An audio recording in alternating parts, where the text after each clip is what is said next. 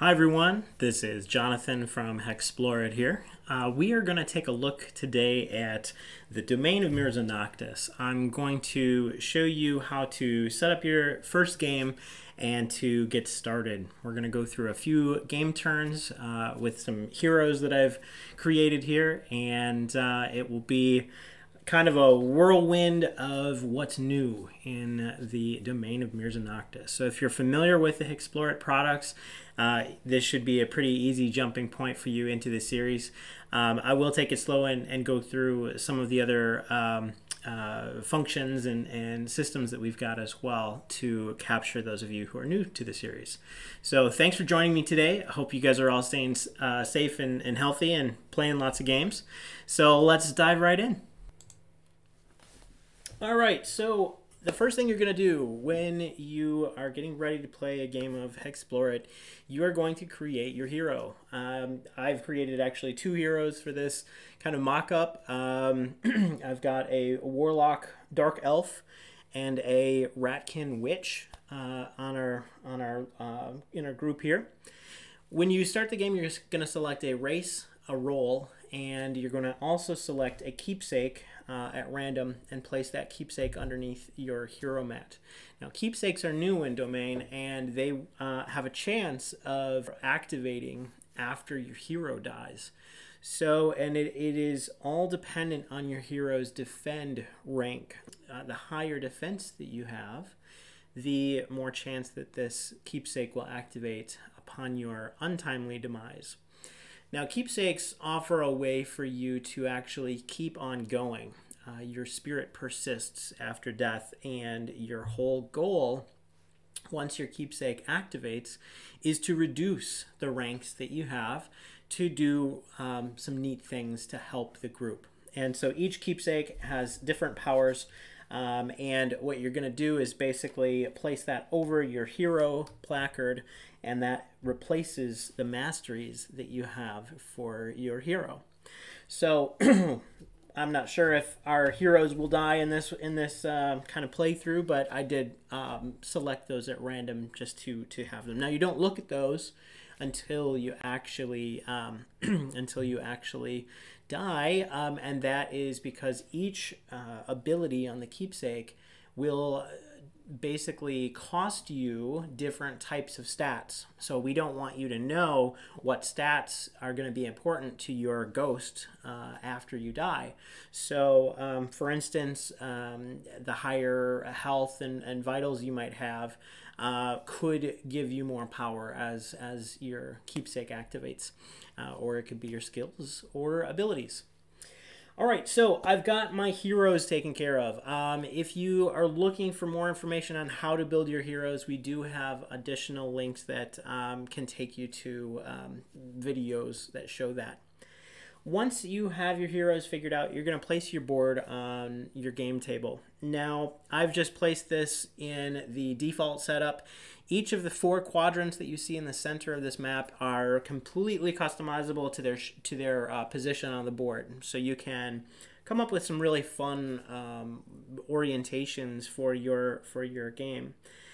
On the top of your screen here, you're going to see we have a day bar and this also has the day deck.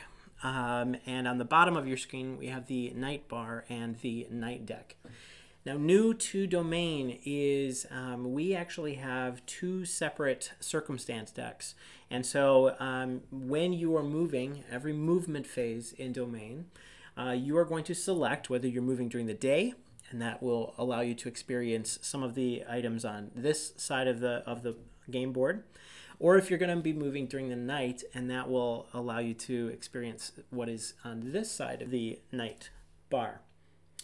Now, we also have a few different slots. Uh, we have our power up slot here for your power up deck, and new to domain are encounters uh, in their own deck, and that is on the night side. Okay, um, now when you actually set, sit down to play your game, you're going to be giving your dice to your heroes like usual. Um, we have two new dice in the domain of Mirza Noctis. We have a 12 sided die that we call the moon die, And we have three sided dice, uh, which are blood collectors. Now, these are going to show up in villages across the map, and uh, they are actually going to be um, siphoning blood from the local populace. And uh, the more blood that they siphon, the stronger uh, Mirza Noctis becomes. And he is our uh, kind of our end um, villain in this in this volume. So. All right, let's take a look at the map a little bit. We have several locations on the map um, revealed on our on our quadrants. Um, two different types appear on the quadrants, and that um, that is villages in Goldenrod. Okay, and they are numbered one through seven. There are seven total. And then we have red boss locations, um, and these locations come in two varieties.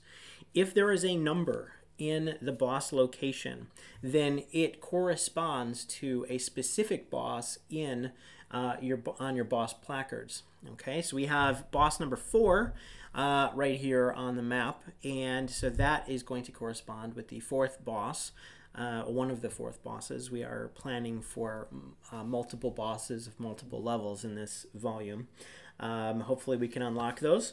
Um, and a second type of boss location, and this is a more interesting, a slightly more interesting one, and that is the random boss location. So a lot of these locations on the map in red are random boss locations. You're not sure what boss you're going to face here. Um, and there are more of them on the map, so you're going to have to move carefully so that you don't wander accidentally into one of these locations. Um, so those are a, a fun addition to Domain. Let's take a look at the other types of locations uh, on the map. Now, with domain, you have um, hex tiles, just like uh, normal HEXplore It uh, games.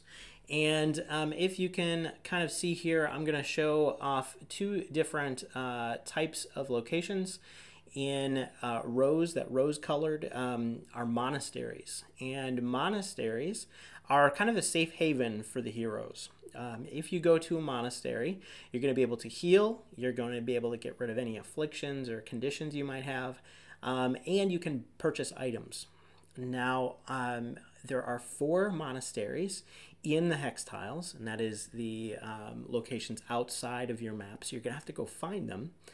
And in the purple here, we have um, we have crypts now, there are also four crypts in the domain of Mirza Noctis, and these crypts begin locked when you first start the game.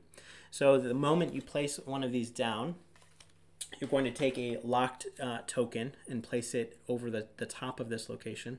The moment you unlock a crypt, monasteries get more powerful. Um, so all of these, all of this item, the, these equipment and items, magical items, have been locked away down into the dungeon of Crest Vitalia, and so the um, the Blood Lord uh, Mirza Noctis, he actually has taken all of his agents and they have they've put all of this stuff down on, in the underground. So the more um, crypts you unlock, the more items you are going to become uh, you're going to have available to you to purchase in monasteries. All right, so that is crypts. Um, what else? We have one other location, and that is Mirza Noctis's castle. Um, let's see if I can find that in here. Sure enough. So we have Mirza Noctis's castle, um, and that is going to be your end uh, location to go and fight the the bad guy, the main villain. Now he might come to you if you uh, kind of dally and do not get your um, yourself moving. Um, if the blood pool ra- raises to 100, he will come in and find you. All right, so that is the game locations on the board. A few other locations to note um, that are not actually, um, they don't have a border, and that is these really bright yellow orange mountain peaks. Now, um, actually, they're, they're called mountain ranges in, in this game. Um, it's a slightly different mechanic than Mountain Peaks in um, any of our previous games. Now, mountain ranges, you cannot move into these locations without having your scaling gear. Um, and Uh, it's one of the items that you can purchase. I believe it's purchasable in the uh, scaling kit. It's purchasable in a village. Okay, so these locations in orange, um, I cannot go into those locations at the beginning of the game. So that's going to mean you have to go the long way around. Um, and we've built our mountain ranges to be um, in certain positions so that uh, you have to kind of pick your the way that you move um, quite cautiously. Speaking of moving cautiously, in this game, um, uh, if you're new to this series, there are four different ways that you can move in the uh, HEXplore It um, universe, and that is to camp, you're not moving anywhere. You're you're basically going to heal uh, some vitals. You're going to get a, um, a chance to gain a bonus on some of your skills that you might roll for that for that turn. Um, you can move cautiously, and this is if you're moving along a river or a road. Um, so if you are moving cautiously, there will be some benefits to you um, throughout your game turn. You can avoid getting a kind of a perilous card that you might draw. Um, there is moving normally, and that is basically moving up to your movement rate. You're not moving on a river or a road. You're just kind of um, making your trek out into the wilderness. And then finally, there's reckless movement. And reckless movement allows you to move a little bit farther, uh, and you take a little bit of energy drain, um, damage basically, that, that affects your energy vital, and can dip into health if you don't have enough energy to spend. Okay, now these four types of movement options are actually um, there is there is a sort of um, strategy involved in Domain of Mirza Noctis. Now the Blood Lord is able to keep tabs on pretty much everything that's happening in this location. He is cultivating um, a ritual of some kind that the heroes have to try and unravel. And if you're moving slowly on the board, that gives him the opportunity to have eyes on you. And so you will actually be in more jeopardy of um, suffering some, some poor um, uh, things that might happen um, based on, on, on just that. Now, the faster you move, the more you can keep ahead of the um, of the Bloodlord. So Mirza Noctis doesn't have a chance to really keep a good eye on you when you're moving really quickly and, and, and far into the countryside. Um, and that's represented by the blood modifiers, uh, the villain modifiers on, in this movement placard that you can see on, on the screen here. So that's the, the movement phase. Um, now, after the movement phase, you will be um, basically rolling your skills. Each hero has three skill dice uh, yellow for explore, green for navigate, and blue for survival. And um, based on how you moved, that will affect um, what dice you roll, and it will affect uh, if you have any, any modifiers to those rolls. For instance, if you camp and, and you don't move, you're going to have a bonus to, um, to rolling those skills. Now, Navigate, the green die, is based on your Navigate score. And if you um, basically have a success in Navigate, you have a chance of uh, staying in place. You will not wander. Now, half the group has to actually make this roll in order for the group not to wander. Wandering in uh, HEXplore It, basically, let's say we've ended our movement right here on our on our map. If during the skill phase, we roll our green, uh, navigate, and um, half of us fail. Uh, uh, let's say over half of us actually in a two-player game. Let's say both of our heroes fail. We're going to roll a d6 against our wander die uh, here, our, our wander graphic here. And that's going to determine which uh, spot we've wandered into. So this could be bad if we're not moving cautiously and let's say we end here next to a boss location if we rolled a 2 on that wander graphic, we would actually wander into the boss location and then we would have to face whatever is lurking uh, in the shadows there. Okay, um, your yellow die is Explore, and that is going to allow your heroes to gain some treasure uh, in the form of gold. Um, you found something that you can sell. Um, you you managed to to grab something of value. Now, your blue is based on uh, your hero's ability to find um, food and survive in the wilderness. Now, any hero who has a food rating um, of one or higher will need to eat if they fail that roll. Uh, so each of your races has a food rating on it, and so that is tied to your to your survival. It is possible for you to gain um, critical successes during this phase of the game, and there are some special bonuses that you will gain. Uh, and that allows you to um, to get some some nice things. Some of them are group bonuses, uh, and some of them are just for your hero. Okay, so that is the skill phase. Um, let's take a look at the circumstance phase next. Now, the circumstance phase is um, based on the day and night here. Now, I didn't mention this during the movement phase, the first phase of the game. Each turn, the players are going to choose whether they're moving during the day or during the night, and that will determine which side we are rolling on. Um, so in the circumstance phase, you're going to roll a six-sided die. Um, and let's say we've moved during the day. And so we will roll against uh, the numbers that are on this bar.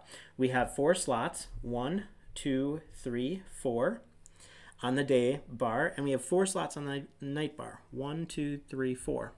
A roll of a five or a six will always be a draw from the encounter deck whether you've moved during the day or during the night. So a five or a six will always return a encounter to the to the group. All right. Um, so after the circumstance phase, we have the event phase. Now, events will happen if you are on one of the bordered uh, locations. Um, so village, boss location, uh, monastery, or crypt. Uh, and sometimes will happen on other locations. It may be a investigation that you've found, or it might be a discovery uh, that you've that you've unearthed. So there might be other uh, events that happen um, in in the in this phase.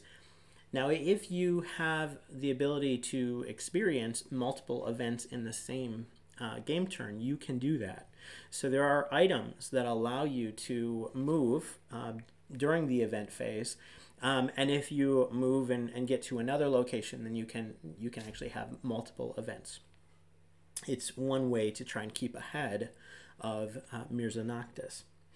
All right, finally, in the at the end of the game turn, after we've done that, then we have the Mirza Noctis, our, our villain, is going to be acting. And basically what we're going to do is we're going to um, add blood to the blood pool based on however many collectors that's these red dice are on the villages. So, so let's say let's say one collector appeared on uh, village 3 let's say we've been playing for a while and we've got three collectors on village 2 um, the numbers indicate the amount of blood you are going to be increasing the blood pool by. So a quick count 3 plus 1 is 4 so each game turn, there, the blood will be increasing by four. Uh, there could be other factors that increase this as well or decrease. Okay, now uh, let's take a look at um, the bars, the circumstance bars. We're gonna, we're gonna draw our cards and then we'll probably walk through a couple of our game turns. so uh, let's draw our knight cards first. I'm gonna place these down here. All right, a couple things to note. New to Domain are interrupt cards. Now, when you first play the game, any interrupt cards that you reveal will be shuffled back into the deck. Now, these cards are denoted by a yellow ribbon that say interrupt on them, and you can see we've drawn one for the night, um, the night bar here. Now, normally, when the moment these cards are drawn and uh, flipped over and, and, and placed, that is when you would play the top part of this card and uh, you would experience anything that um, is, is going on with this particular card. So interrupts will generally happen after you've played something else. So it's really important to um, try to be ready for, for you know anything that, that might occur. Um, so, like I said, this just is the first card um, that we've placed in the in the game. I'm going to be basically putting that back into the deck. We don't start with any interrupt cards on the board. All right. Um, next to talk about is the heroic card that I've drawn. Now, in the domain of Mirza Noctis, we have a card that corresponds to each of the roles in the game. And this card allows your hero to have a chance to get a bit stronger, um, to increase your abilities in a specific way. So, for instance, this one that we're looking at here, if the cursed one is in play, then you're going to be able to um, play this card. And in the rulebook, this is described. Um, if you do not have this role in uh, in play, then you're simply going to also discard this. So, for instance, we are playing with the warlock and the witch. Um, we're not playing with the cursed one, so I'm going to put this one aside. And generally, you just you know put it aside and would not encounter it again. I'm just putting it in the deck for now. All right, so I've re um, pulled the cards that I do not start the game with the uh, interrupt card and the heroic card that do not correspond to um, to the beginning of the game. As you can see, we have uh, two cards here with a rune reward at the bottom. Um, now, generally, these rune reward cards are investigations. They also have the little looking glass icon on them, and that allows you the magnifying glass, and that allows you to see that that is a your investigation. Now, these locations correspond to a loca location on the board.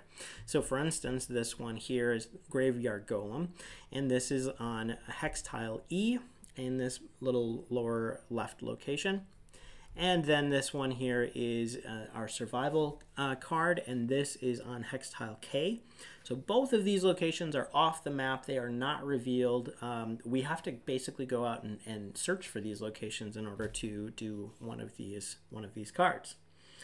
Um, so let's go ahead and flip over for the day deck. Place them upside down here so you can see them better. Lots of investigations. All right, so as you can see, um, I have revealed um, four cards on the day bar here. We have a treasure, and then we have three investigations. Again, they have a rune reward. We've got a lot of uh, red runes on the board at the moment. We have a red, red, green, red, and green. Now, runes in this game are the main way that your heroes will gain power um, and um, that is something that you're going to want to collect um, in the domain of Mirza Noctis. You're going to uh, collect these strategically, so you can either gain matching sets. Um, there are three types. You have a red rune, uh, which is represented by a circle, a green rune, which is represented by the diamond, and a blue rune, which is represented by a triangle. So again, you can collect these in sets or you can collect the matching uh, pairs um, uh, or, or, or, matching types. So the more you have, the more you get to turn in to different locations strategically, and that allows your heroes to gain a bunch of power. Okay, so let's look at the three on the top here. I see two that are revealed. So um, in fact, we are going to place uh, rune stones now these rune stones are a unlock that we're looking to, to um, unlock during the campaign. And they're uh, basically little beads, um, stone beads, glass beads, that have the symbol of the rune screen, screen printed on the bottom. And these are going to be placed on your board to represent the different locations that you can go to gain them. So for instance, this one here, Luring Shadows, is going to be on, uh, let's see, hex tile A, and that's going to be right here. And then this one is Hidden Giant, and that is also on hex tile A. I'm going to place that one here. So we know that we could go to these two locations to attempt to gain a red runestone. Okay. All right, so I think that's about it for the setup. Um, I also have our dungeon decks here. uh, on the side uh, of the board. They each correspond with the rune type, so red, green, and blue. And uh, we can gain runes by entering the dungeon. And this is done by um, unlocking a crypt, and then you can go down into the dungeon in a crypt location. Um, I'm not going to jump into the dungeon just yet for this playthrough, but it is worth noting that um, the more dungeon entrances you unlock, the easier it's going to be for you to move around the board. Because you can enter the dungeon, let's say here in spot two, go into the dungeon, um, and then exit in a different location. So if you have revealed Crypt 2 over here, and you've revealed Crypt 1 over here, you could jump back and forth in um, by, by taking the dungeon. So that's a fun new mechanic. And we need to determine which village we're going to start in. And to do that, we are going to declare whether we're moving during the day or during the night for our first game turn. Now I see a treasure and two uh, uh, two investigations that we could be able to um, to use or, or to make use of. So I think we're gonna we're gonna move during the day, and that's gonna allow us to try and, and roll on this this bar here. We have an affliction uh, on the bottom of the night bar here, so I can see us moving during the day to try and gain clues, uh, which we haven't really talked about yet. I can get to that in the circumstance phase. So, in order to determine your beginning city, you're going to roll a six sided die. If you decided to move during the night, you are going to add a one to that die. Otherwise, you're just going to use the result. So if we're moving during the day, we're going to roll a d6. Five, we start in the fifth city. If we were moving during the night, that five would have been plus one, so we start in the sixth city. So Fifth City all the way over to the edge of the map over here.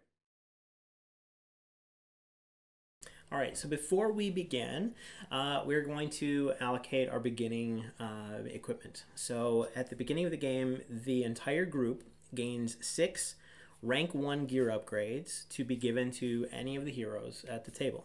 Now, um, I've given the Warlock um, three, and I've given the Witch three and they cannot be to the same stat. They're only the first rank uh, gear upgrade. Um, as well as uh, 10 gold for each hero, and you get three times your food rating um, in food. So our witch has a food rating of three.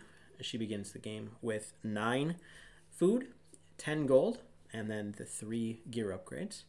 My Warlock has a food rating of 2, so he begins the game with 6 uh, food, 10 gold, and uh, also 3 gear upgrades. Now, you are able to purchase items before you set off on your adventure. And uh, so I've done that. So I have um, hunter's gear that I purchased um, in the village and a few lesser, lesser potions for each of our heroes. And you can use the placards um, to look over what items are available to you um, so, for instance, um, we, we have two placards that showcase the items in, in play. One is a summary that shows um, both the monastery and village items in the game. It's located on the back of the battle mat. And of course, you have the placard that corresponds with this location, the village, um, which also shows you the items that are available to purchase. So now that that is done, I think I'm ready to set out. All right, so the first thing we do when we begin our game is we have chosen uh, during the initial setup to move during the day. So our first game turn uh, during the movement phase, we are choosing to move during the day.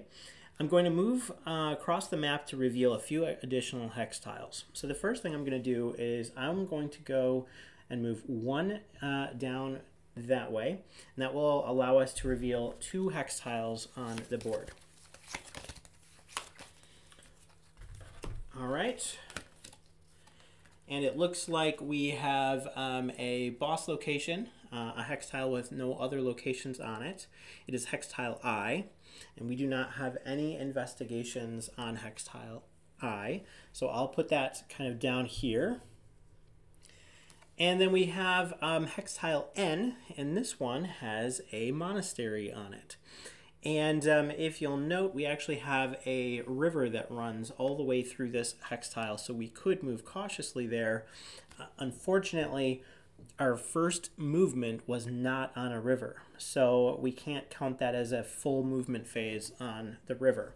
So we can't get there um, cautiously this turn, but if we wanted to, we could we could do that next turn. So instead of stopping, we could stop if we wanted to, but we still have movement remaining. We move normally uh, at a rate of four hexes per turn. So we can continue our movement. And I think what we're going to do is we're going to go one, two. So we've moved three. And we're going to place another hex tile right in this location here, just to see what we, what we get. All right, now that one uh, also has uh, both a monastery and a crypt, as well as a boss location. So I think what we'll do is uh, we will go ahead and let's orient that this way. That is hex tile H. Let's see, do we have anything on H? E, K, J. So we do not have any uh, additional investigations on this location. We did just reveal a crypt, so we need to place a locked crypt token on this location. Uh, you have to place that token on there to denote that it is currently locked. And that means we can't go into the dungeon. You can still go into the crypt and, um, you know, activate your runes there, but you have to uh, unlock it before you can go down into the dungeon in that location. All right, so that is our movement phase. Do we want to move any any further? Let's move one a little bit closer that way. And uh, then what we'll do is we're going to roll our skills. now, if you'll note, we, we kind of went in a circle. Uh, we did move, uh, let's see, one, two, three, we moved four total. Uh, so that is moving normally. Uh, so that means we may wander. And if you'll note, we actually uh, are adjacent to a boss location. Maybe not a great move for our opening um, turn here, but that's okay. We're going to try it. So we're going to roll our skills, and that is for each hero uh, at the board. The Warlock has rolled a hex on Explore. He missed the other two, so we may wander because of him. Um, but let's take a look at what that hex does when you roll uh, a critical success during the skill phase. Something nice, something good happens.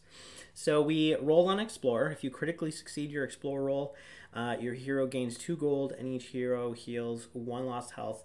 Or you may place one clue on an open investigation of your choice. So we can actually place a clue because of this um, uh, critical success. So I'll take one of the clue cubes and I'm going to place it on one of the investigations of, of our choice. And I think what we'll do is let's place it on this Luring Shadows uh, one, which is the, the green one. Um, because we should be able to to do that one fairly easily. So we'll try and, and add it to that one. Now, looking at our witch, um, she made survival, but missed everything else. So uh, we need to consume food for our warlock because he missed survival, and um, and that's it. Now, both of us failed our navigate, so we're going to wander. And now this is where we're going to see if um, this was a bad decision on my part, uh, placing us so close to a boss. So let's go ahead and roll the d6. And it's a 1. Oh, we lucked out. So we actually wandered in this direction based on our wander graphic here.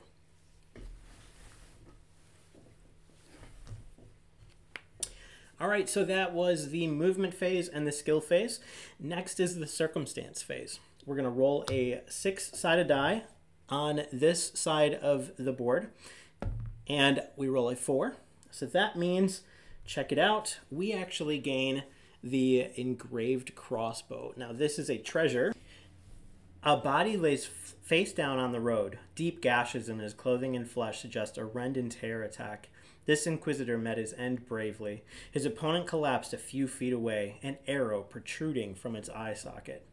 Each round of combat, you may spend one energy to fire a silver bolt in addition to your action. Deal health damage equal to either your explorer rank or half your attack rank uh, and a utility. If you are a utility hero, it looks like you gain double this treasure's wielder bonus. Now we have a striker and a sapper in the group, so we do not have a utility, and that's okay. We still gain this card, and we gain the wielder bonus of plus one to attack. So I'm going to give uh, the engraved crossbow to our warlock, which is going to increase his attack by one. All right, so now the moment we have uh, consumed this slot or used this card, we're going to turn over another card in the stack. And it looks like we have another of these heroic cards. Now, we do not have a Phosphoromancer in the party, so we can just get rid of this card. Uh, at the beginning of the game, you can certainly just take those out. All right, and check it out. We have an interrupt. Now, this is actually something that happens right away. The moment you draw an interrupt card, you, you have to play it. So, the missionary. The missionary joins the group and may re-roll the circumstance die once per turn.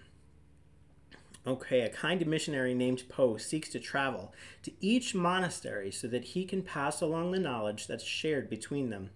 Each time you bring him to a new monastery, gain this card's rune reward. Oh my gosh, check it out. We have two monasteries right next door to each other. So we are already going to be gaining some really nice rewards from this. So that is our circumstance phase. We're going to place this card back in its slot. It is currently active. Um, so we will place it there. And we will note on our battle mat that we have uh, the missionary, Poe and he has six health, seven navigate. All right. All right, so now the next thing that happens is we have gone through the circumstance phase. We're going to have an event. Now, we are currently not on a event location. We do not have a discovery or an investigation uh, in this spot. So we you skip that phase and we're going to go right into the villain phase. Now, during the villain phase, the first thing that will happen is we add blood to the blood pool equal to the number of collectors on the board. This is the first turn of the game, just so there are no collectors on the board. So we will not add any, and we will simply roll our moon die to see what the villain action is. Now, we have not gotten any modifiers to this roll because we did not move cautiously or um, recklessly, anything like that. Had we moved in those specific manners, uh, we would have had a modifier to this roll. So we're going to roll a d12, and it's a 12. Oh, it's the worst. Roll again twice with no modifiers to the roll. If another 12 is rolled, immediately add one to the blood pool for each collector in play. All right, so roll again twice. First one is a 1. Each hero loses 1 gold or 2 food. Let's go with 1 gold. All right, so we've lost a little bit of gold. And the next thing is a 8 and an 8 single one critical health damage. So one of us is going to take a critical wound. Now critical wounds in this game are a little that's a new system. You can only um, suffer so many critical wounds until you actually die. Um, so let's take a look at that mechanic. On the back of your game turn placard, you'll have the keywords um, placard, and that is going to give you all of the different things that you need to know. So, critical. Anytime a hero suffers at least one critical damage, they gain one critical wound. Now, critical wounds. Each hero may only sustain a number of critical wounds equal to 3 plus their food rating. So that would be a max 6 and a max 5 for uh, our warlock and for our witch. So our witch has a food rating of three, so she can sustain six critical wounds. Our warlock has a food rating of two, so he can sustain five critical wounds. So if a hero suffers more than this, they immediately die. Critical wounds may not be removed by items, abilities, or effects that negate conditions. Each hero removes one instance of critical wounds from themselves anytime they camp. So camping will allow you to get rid of your critical wounds. All right, so we rolled the die twice. We're going to figure out who takes that critical wound. We're going to roll target dice. Now, target dice is a d10 roll, 10-sided uh, die for each hero, and um, you're basically going to, um, the person with the highest roll is going to be the target. So uh, let's go with green for our warlock and yellow for our witch. 10 green, our warlock, uh, who can sustain 5 critical wounds, has now suffered 1. And that critical uh, damage was 1 critical health damage, so we go down to 7 total health, or 7 current health out of 8. Okay, so that is the end of that game turn. We, we moved, we rolled skills, we wandered, uh, we rolled a circumstance. We had we got a treasure, and we have an escort now in the group, uh, the missionary, and uh, then we rolled for our villain. So this brings us to game turn number two. So this time, I believe we're going to let's let's go to the monastery, get that first green rune because that's going to allow us to um, to get you know a, a pretty pretty powerful I think. So we're going to do that. We're going to move to one two. Now that wasn't along a, road or a river, so this is going to be considered cautious movement, and we're probably going to wander. But again, we have the missionary who has a navigative seven, so hopefully he saves us from wandering. All right, so the next thing we're going to do is we've we've moved. We're going to roll our skills. Our warlock rolls, and he actually gets another hex on explore. That's two turns in a row he rolled a hex. so we get uh, two more gold. Um, he missed navigate and he missed survival, so we're going to consume some food here. Uh, then we rolled for the witch, and she made navigate and missed survival, so she is going to consume her food. And she missed uh, explore. Okay, so let's roll our navigate for uh, Poe, the missionary. And he rolls a three, so we actually uh, stay in this spot. Now we skip the circumstance phase because we are in a monastery, and we move right into the event phase. The event phase will trigger the uh, the fact that we gain. We've we've brought the missionary to one of the monasteries, and so we gain a green rune that I think we're going to turn in immediately to this uh, to this location. So let's take a look at that we pull out our monastery placard here and we can see that we are currently um, in the monastery this is number three. So this is the monas- monastery of Gesk so we are going to um, basically take that green rune and we're going to uh, mark a 1 in that location. And that's going to denote that we have turned in one green rune here now, the first rune you impart to a monastery is worth one power up per hero. Mark the rune type in the table below, then discard it. And the second rune's rewards are determined whether it matches the first rune or not. So if we return to this one, um, the second rune that we impart will determine how we impart runes in the future here. We can either bring another green one, and that will mean that we can only bring green ones to this location or we can bring a different rune type. If we bring a different rune type, then we have to start collecting sets and we cannot bring the same color again. All right, so there's some strategy to how we want to impart runes in the monasteries. So we gain a power up, each of us. So let's see, we have plus two, choose two stats We must strike now while they are not while they are yet weakened, for as they grow in power, our chances dwindle. You know this. Okay, and then we have a plus one defend. Like pawns in a game, we are his pieces. He anticipated our movements once again. We cannot let him win the day. All right, so I'm going to go ahead and give those to our heroes. Plus two, choose two stats. That is awesome.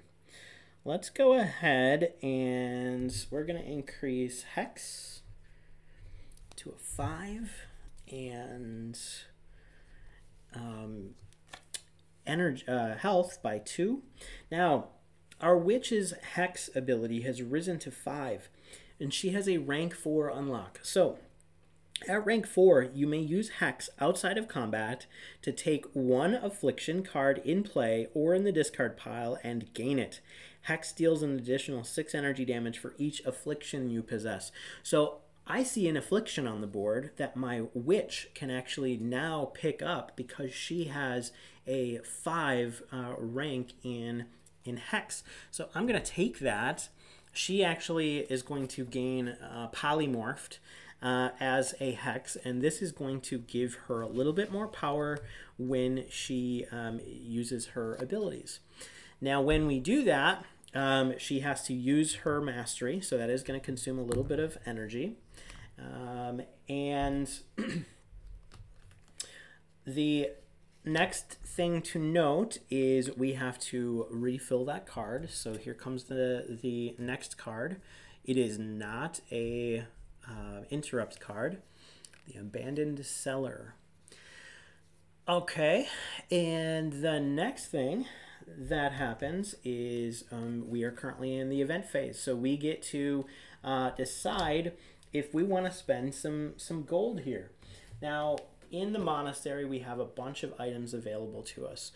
If you'll note, um, there the monastery placard is broken into four particular sections, and we only have access to the top section. Now, for each crypt that we unlock, we will actually gain the next sections um, uh, items. So we can purchase up to the canoe at this point. Um, I think for now, I, I think we're going to just do some Blessed Rations and Swiftfoot Elixir. So let's just do Swiftfoot 1, Swiftfoot 1, and that's 3 each. And rations are 3 each. Actually, the witch doesn't have any left, any gold left.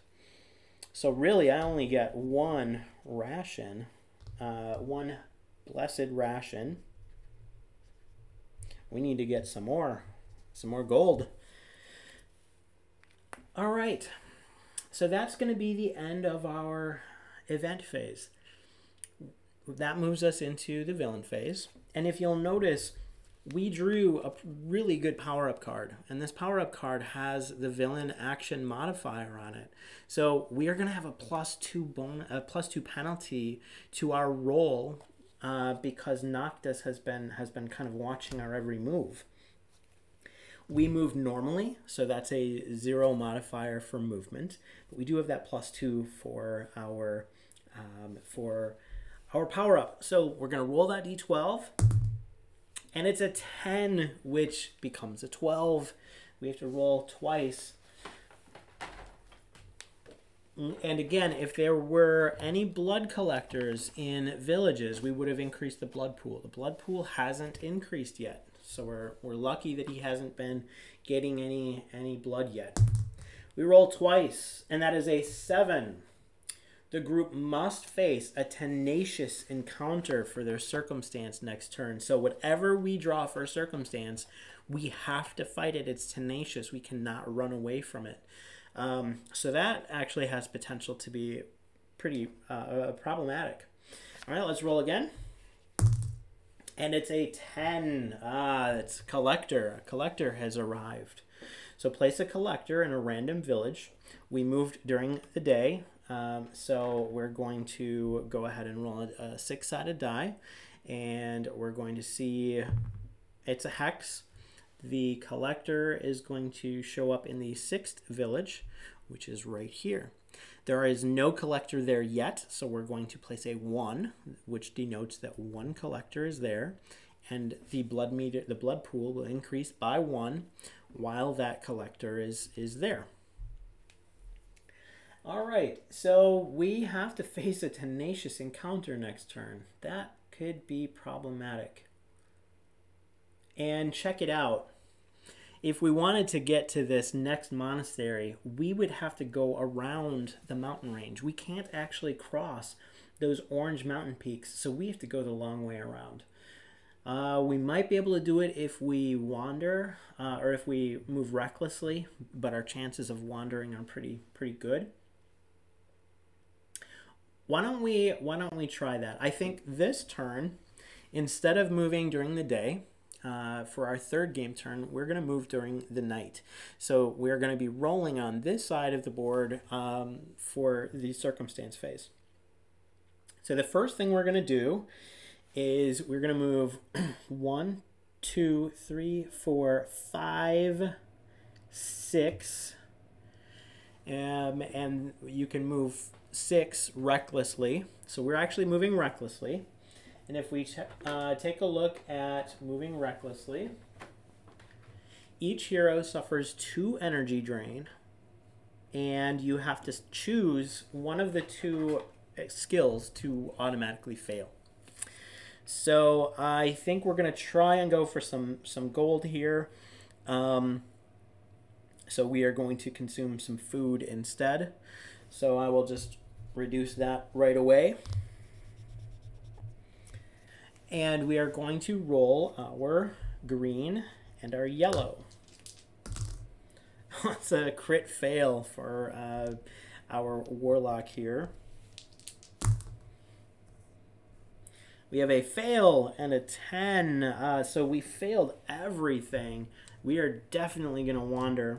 We still have uh, Poe with us, the missionary, so we can roll a, a 10 sided die for him for the navigate. He rolls an 8, and his skill is a 7, so he also fails.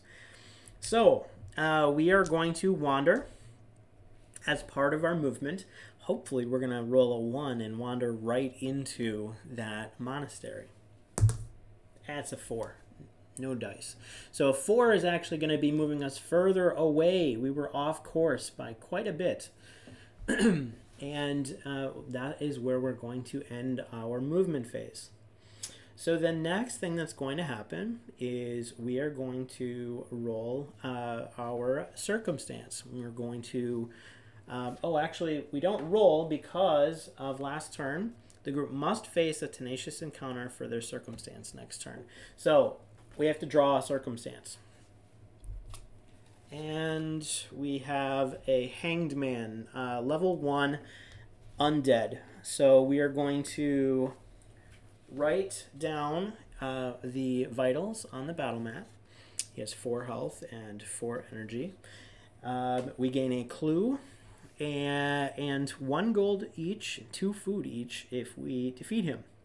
Now, um, we move during the night, and so if you'll notice, there are some passive abilities on this particular uh, encounter. You're always going to want to read the passive abilities before you begin facing your encounter, and that is at the bottom. So if we look, this encounter has hatred utility.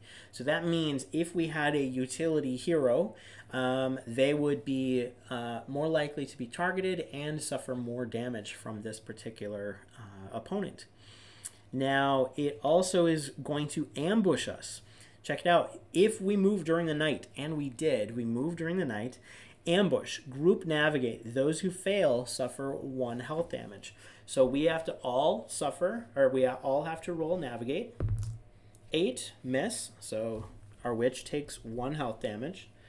Warlock, four, misses. He is going to take one health damage. And then Poe, because Poe has a navigate score, he can roll in this particular action. So he rolls a three. Poe suffers no damage. All right, so that is the extent of our ambush. He automatically gets something that happens before combat begins. Now we get to attempt to take him out. He is an undead creature uh, or an undead opponent. We do not have favored opponent against undead. We have favored opponent against monstrous humanoid and monstrous humanoid for both of our races. So we are going to declare what we're going to do. I'm going to have my warlock use arcane bolt, which costs him three energy to deal eight health damage. So I'm going to write that on our battle mat here. Um, as you can see, he doesn't have 8 health to even take, so hopefully if this goes through, we will be able to um, destroy him right away. Wretch, uh, I think, is just going to do... Um, Wretch is just going to defend.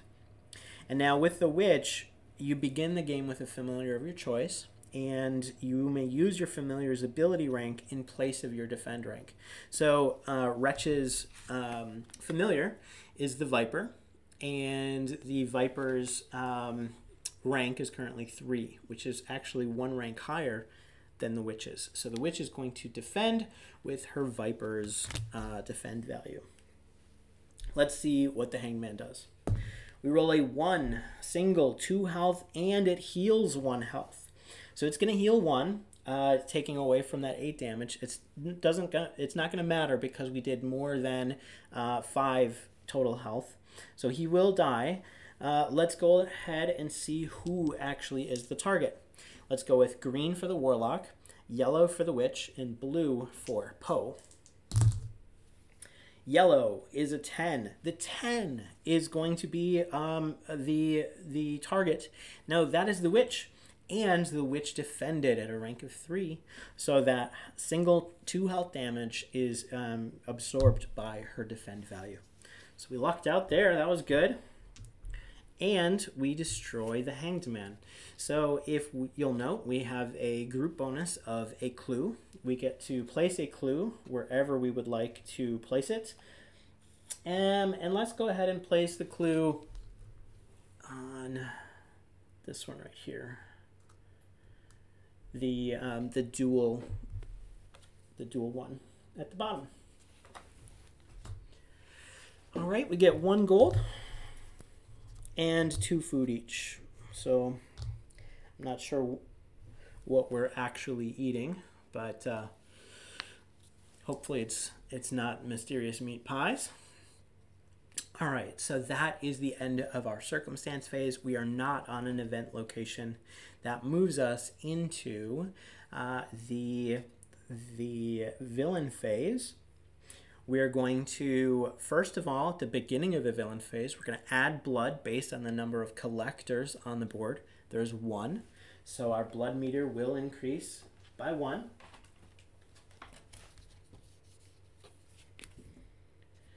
Okay, and then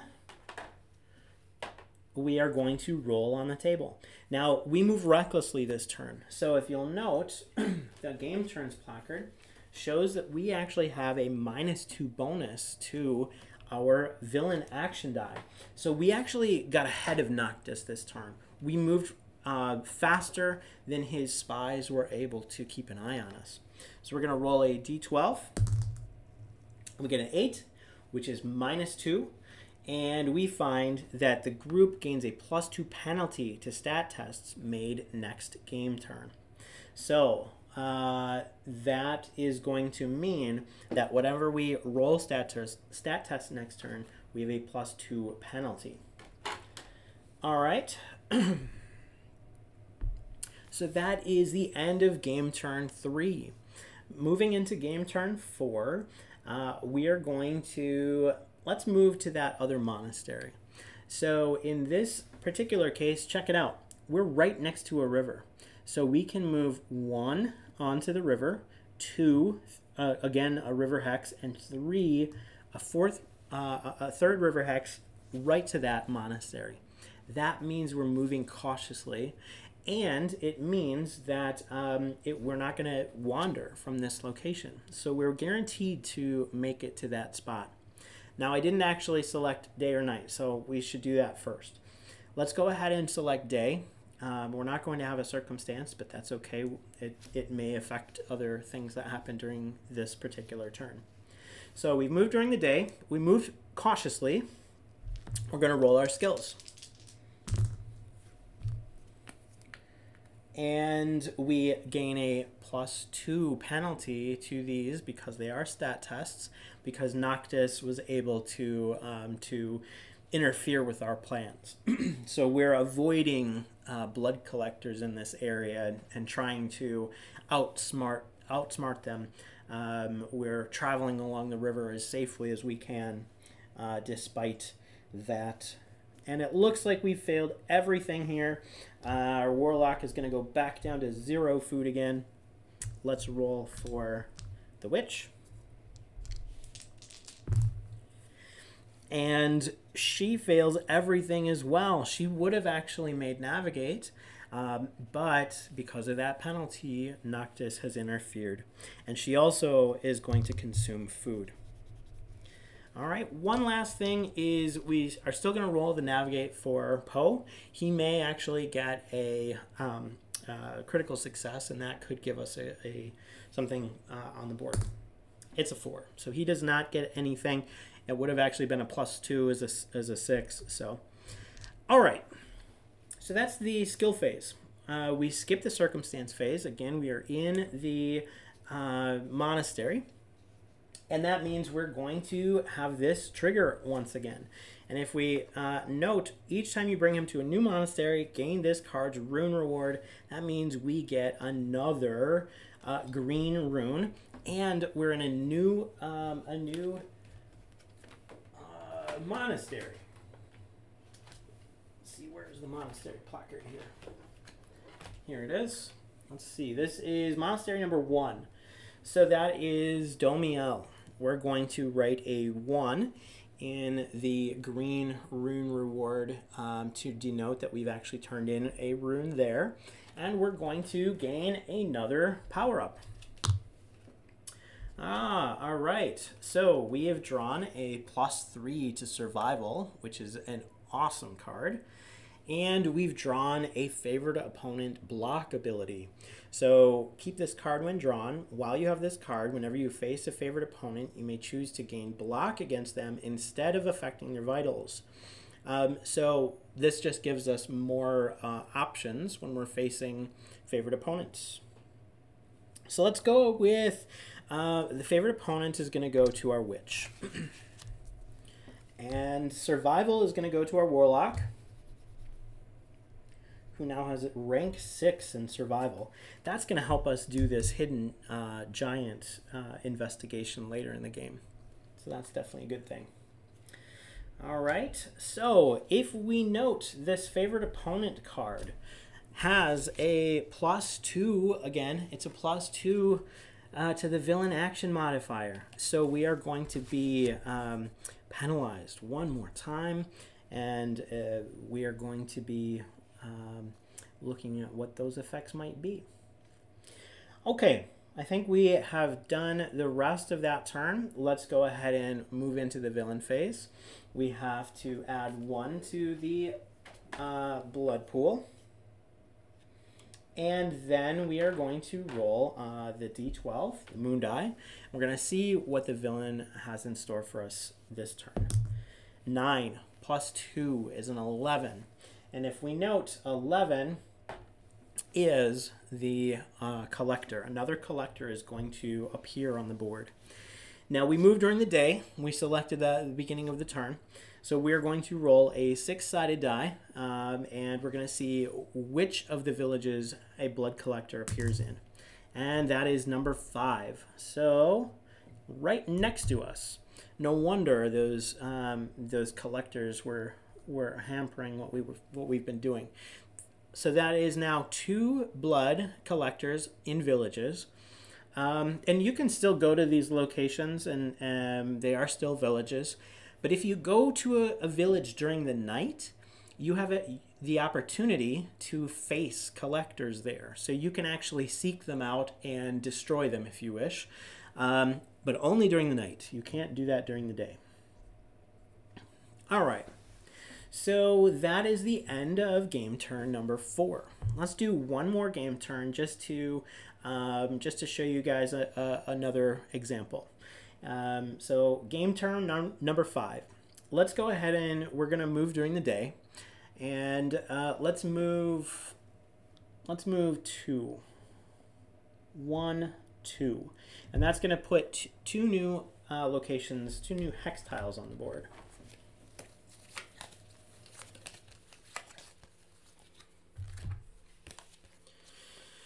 Oh, look at that. We've found Noctis's castle. So we will place that over here. And we have found um, the third boss and we have found another random boss location. So we're going to place that. Let's place that right here. And that is going to be our movement phase. I think we're only going to move two. Um, so we have moved normally. We're going to roll uh, our dice. And we make survival this time, so that's good. The Warlock has no more food to, to lose. He does have Blessed Rations, so he could consume that in place of food.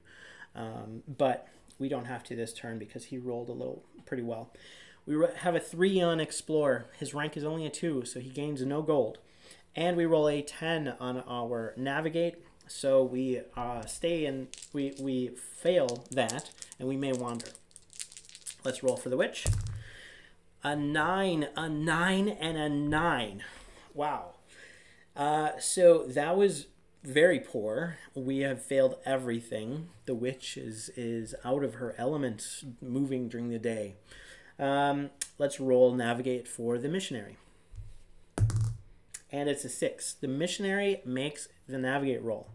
Now, in order for you to, to not wander, you actually need to um, roll half the heroes, uh, half the group needs to succeed, um, rounded up. So in this case, half the group rounded up would be two. Um, and so that means we still wander. We're going to roll a d6. And that is going to be wandering south. We wander back to the river. Okay. That is the movement phase and the skill phase. Now we're going to roll on the um, on the circumstance phase. We're going to roll a d6, and that's a 5. A 5 is an encounter. So let's see what that is. Oh, it's a devil. Okay, so this uh, opponent um, actually has something new um, to, to showcase, and that is Aegis. Now, if you take a look at both of these opponents, um, note that the shield looks different. There's a shield icon on the Hanged Man that shows one. Um, and then there's a shield icon on the Devil, uh, which is in orange and has a different color text. Um, it's uh, level 2, but it also has a gear upgrade icon right below it. Now, this icon, the orange shield and the gear upgrade below it, is denoting Aegis. And Aegis basically means that it's harder for you to, um, to hit these particular creatures. Um, so let's take a look at what Aegis is.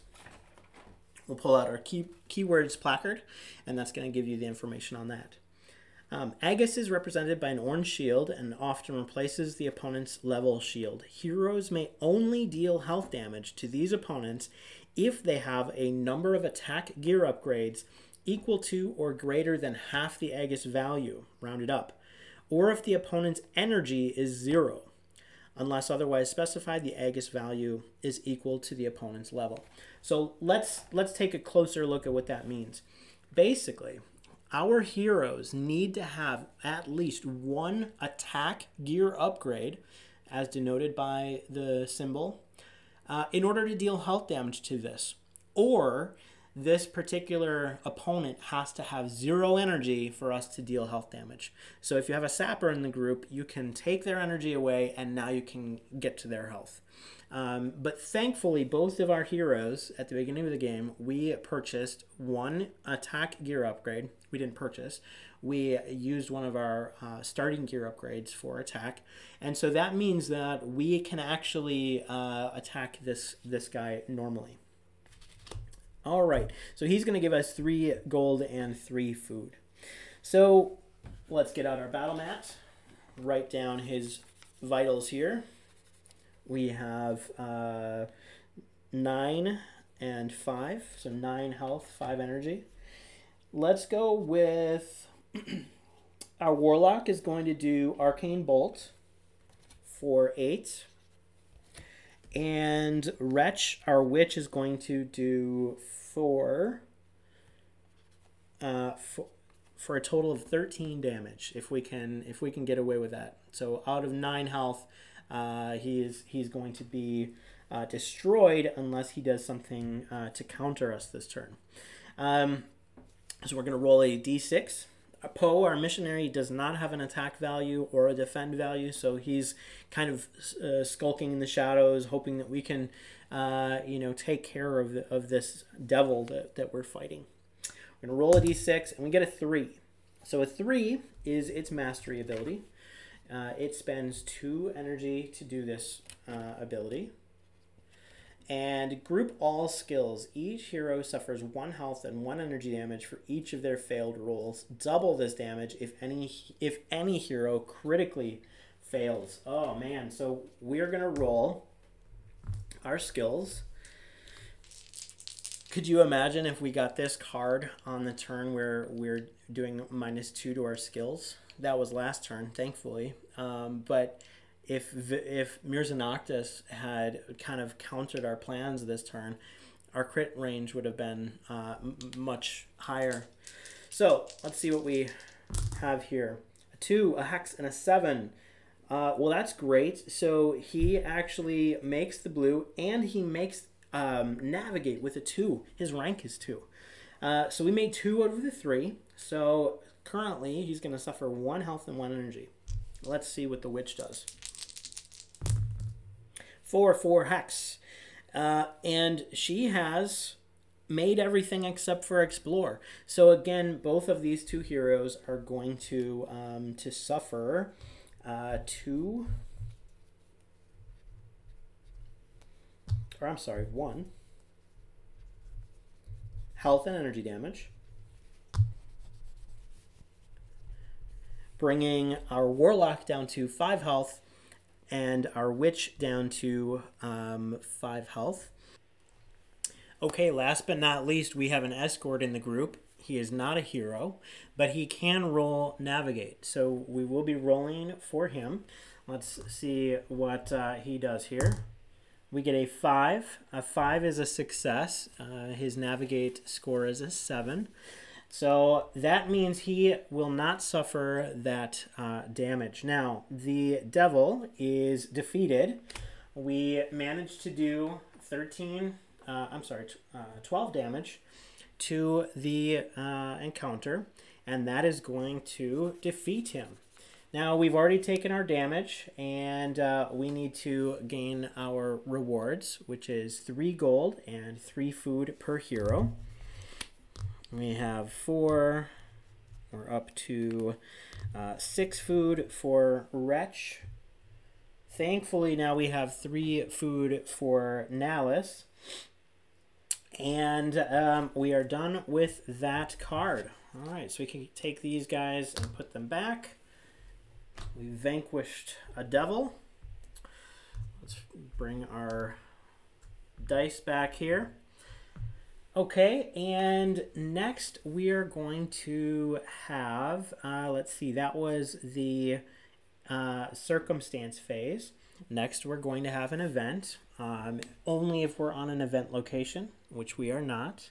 So we are now going to have the villain phase. Um, now, we don't have any modifiers for this particular game turn. So let's see what Noctis has in store for us this turn. We have two blood collectors on the board now, um, so we're going to increase the blood meter by two. And let's roll the moon die. We get a two, a two. Group one piercing energy drain. So each of us is going to suffer one piercing energy drain, as well as our missionary. So our, our missionary is going to go down to five health record that on the battle mat. Um, and then we're going to uh, suffer each of our heroes. And that is going to end our fifth game turn. So we have quite a bit ahead of us yet. Um, this is going to be the end of this particular video, but if I were to go on, I think we would be trying for a boss next turn. Um, we might camp in place just to get some of our vitals back before we do that. Um, but we still have our missionary in the group as well. So maybe we could expand the map and find uh, the rest of the monasteries. That would be a, a quite an easy way to go. Um, and we could also try for one of the the boss locations, which is which is right next door. So I hope you guys had a great time watching. Um, this is obviously uh, uh, just such a, a, great time for us to be able to build this game and we're so thankful uh, that we have such an awesome community that is behind us uh, supporting us so thanks again uh, until next time have a great time uh, in your adventures